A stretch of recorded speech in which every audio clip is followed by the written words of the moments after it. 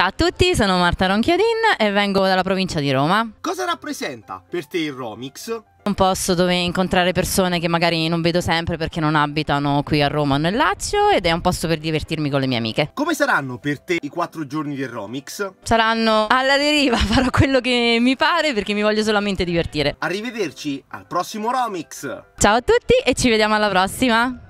Ciao, ci vediamo! Sempre la solita.